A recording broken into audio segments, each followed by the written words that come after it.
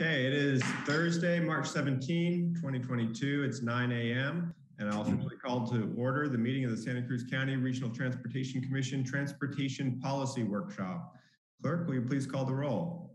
Commissioner Bertrand, Present. Commissioner Brown,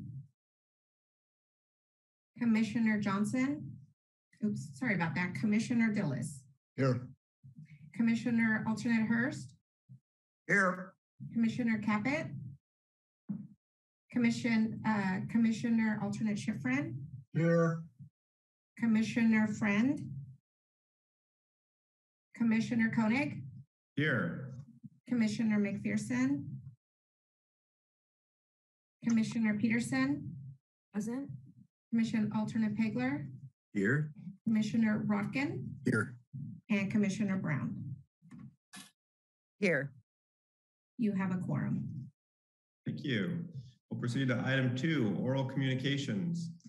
Any member of the public may address the commission on any item within the jurisdiction of the commission that is not already on the agenda. The commission will listen to all communications, but in compliance with state law, it may not take action on items that are not on the agenda. Speakers are requested to state their name clearly so that it can be accurately recorded in the minutes of the meeting, and each speaker will have two minutes.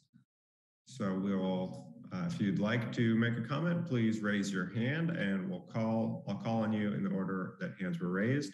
Our first speaker will be Mr. Barry Scott. Uh, good morning, uh, commissioners, and thank you for holding, uh, holding this meeting today. Uh, I just wanted to thank the, the commission for years and years of hard work and, you know, transportation policy is a, is a big idea and an important topic, policy. And I'm, uh, I'm reminded of a letter that brings me joy that was from Director Preston to uh, the California Transportation Commission in uh, dated March 8, 2019. And I think it speaks to the best and highest transportation policy that this county has, has ever expressed. Um, and I'll read a couple short passages from it. Uh, while there have been proposals by some community members and groups to rail bank or remove the railroad tracks, in January 2019, after extensive analysis and public input conducted through the Unified Corridor Study, the RTC board unanimously affirmed its commitment to leave the railroad infrastructure in place, maintain freight rail service, and institute high capacity public transit service. You know, we've since then had the transit corridor alternatives analysis that showed us that electric light rail is the best transit use. And along with the trail, this is the right thing to do. So I'm grateful for the work that the commission is authorizing to be done on the railroad to keep it in uh, in good order. And another short passage from the same letter. The RTC purchased the rail line to increase mobility options for our community, visitors, and businesses. The rail corridor provides an alternative to congested road, roadways and connects major towns and cities. Connects to rail lines serving the rest of the state supports more compact development and more predictable travel times, and can help us meet state greenhouse gas reduction targets. So for all of that and more, I thank you. Thank you, Mr. Scott. Next up, Brian, Trail Now. Hi, thanks. This is Brian from Trail Now. We have thousands of supporters across the county. Um, you know, I remember a decade ago, I was meeting with former supervisor Ellen Pirie, and she was on the this board during the procurement of the Santa Cruz Coastal Corridor. I remember her statements well. She said, you know, there's never going to be a train. Doesn't make sense. She said that. And she said, I wanted to acquire the corridor to protect this public access. And she did, that is very key. I remember her saying, which was shocking to me, that train people, and this is the first time I ever heard this term, would stop the use of the corridor. And I'm shocked that over over a decade now, the corridor has sat unused. Um, and we've spent millions on studies and, and maintaining that corridor. Ellen Pirie said that they would stop it, and she was right, unfortunately. Now we know rail banking, based off of the study report from RTC Director Guy Preston, is legal process. It's for preserving this corridor. It allows us to pull the rails and build the trail. And this isn't new to us. It's actually 24,000 miles across America. It's done. So this isn't new information. So we as a community truly need this rail banking to occur. And we need to start using this property. We need to open it up for real mobility. Letting it sit there with the old railroad tracks is not leadership. We need this organization to move forward with rail banking and opening the corridor as soon as possible. It is a major issue for our community. Thank you for your time. Thank you, Mr. Peoples. Next speaker will be Ms. Judy Gittleson. Hi, thank you, commissioners. I want to say counter to the previous caller that the, this is an environmental crisis era and to eliminate any possibility of rail, which Greenway wants to do, is a crime. It's criminal. I want to keep our environment as, as lovely as it is. Do not allow any highway widening. Please be responsible to the bills that have gone before you and repair the tracks. That is your duty as public servants to do what you have already authorized and, and allowed yourself to do. This is an opportunity to make your grandchildren proud and to keep an area pristine. Do not allow for private interest to take away public transportation we in Watsonville, I'm a Watsonville citizen and I teach people with special needs. They are very dependent on public transportation. And to keep the possibility of rail in the future is what you have already signed to do.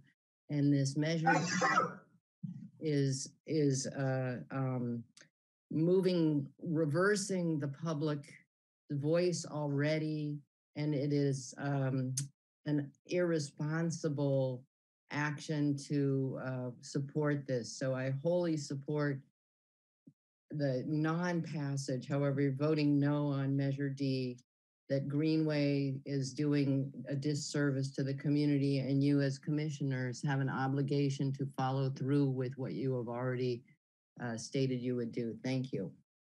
Thank you, Ms. Gittleson. Seeing no other hands raised in the public, we'll proceed to item three, additions or deletions to consent or regular agendas. Executive Director Preston, are there any additions or deletions? No, Chair Koenig, there are no additions, deletions, or changes to the agenda. Thank you. Then uh, we'll- proceed to the consent agenda. Would any member of the commission like to uh, make a comment or uh, have a question on the consent agenda? I'll wait for a public comment, but I'll pre- prepare to move the consent agenda. All right, thank you. Um, I'll take it out to the public. Are there any members of the public that would like to comment on the consent agenda? I see a hand raised by Joshua Macha. Go ahead, Joshua.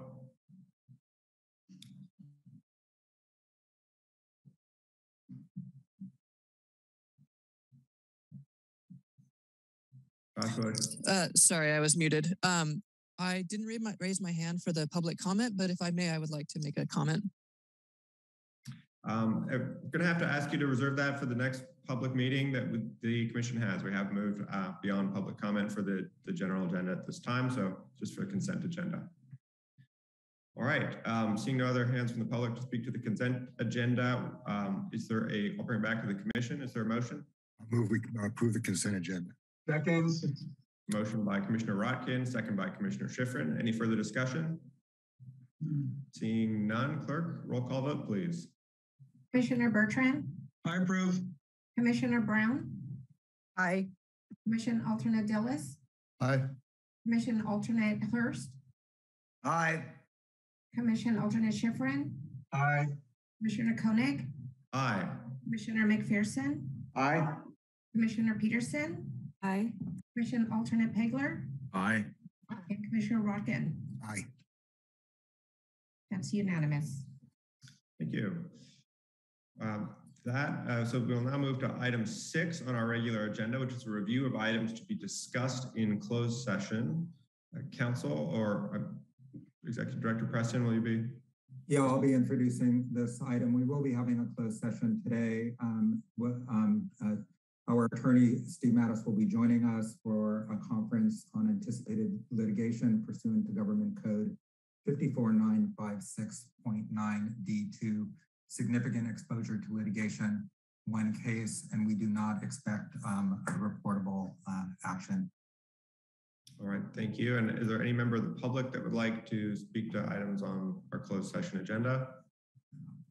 I see a hand raised from Mr. Brian Peoples. Go ahead, Brian. Thank you. This is Brian from Trail Now. Um, don't actually know what the closed session is, but I do want to make some comments about the lawsuits that um, continue against the RTC. Um, you know, um, the RTC staff is doing a phenomenal job on deciding on improving our transportation commission uh, corridors. Um, they're moving forward with widening Highway 1 and having plans for bus on shoulder and hopefully longer term our HOV lanes and uh, toll roads. And that really aligns to where California is going and, and the technology is going with transportation. Um, the organizations that are suing the RTC Campaign for Sensible Transportation and Sierra Club, both, if you recall, were the organizations that were against Measure D in 2016. Measure D was phenomenal for our community. It We were a big supporter of it. And if we didn't have Measure D funding, where I think we're getting $26 million a year now, um, and we're able to get other funding, that was a huge. And if you recall, those organizations did not want to move our community forward. And it feels like these organizations are doing the same thing. They're not helping our community move mm-hmm. forward. They actually have been opposing opening the coastal corridor as well, which is really unusual. You know, why are they preventing opening up coastal corridor for for our community to use for active transportation? So um, hopefully the this uh, lawsuit is uh, shot down. I believe it's in May. This is the court case, um, and really we support you, RTC. Thank you for your time. Thank you, Mr. Peoples. The commission will now go into closed session. Uh, There is no reportable action. action. Um, So for those of you who uh, want to continue to be engaged with the RTC process, you can join us at our next regular meeting, Thursday, April 7th at 9 a.m. Uh, Commissioners, you should have. Let me just say, Manny, so people know that there's a link that we got this morning from uh, community television to the closed session. It's, it's in your email. Right. All right. Thank you, and I will now go into closed session.